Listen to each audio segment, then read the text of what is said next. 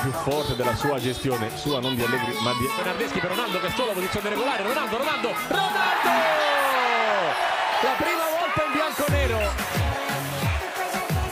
mette la palla all'incrocio, batte Loria, freddissimo su una splendida sventagliata di Federico Bernardeschi. Buono il controllo, freddezza glaciale, 1-0 per la Juve sulla primavera inevitabilmente Cristiano Ronaldo a portare in vantaggio i suoi. Ci aveva provato con un sinistro alto poco fa. Che è riuscito.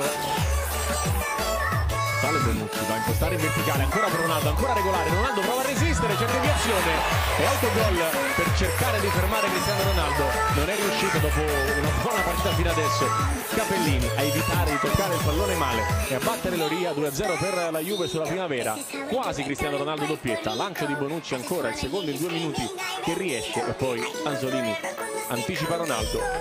E infila la porta sbagliata gol del 2-0 uno la fa e Cristiano sul tiro di Ronaldo. Arriva il gol di Bala quinta un po' di Loria stavolta. Questa è la palla per il portoghese. Arrivato al sesto tiro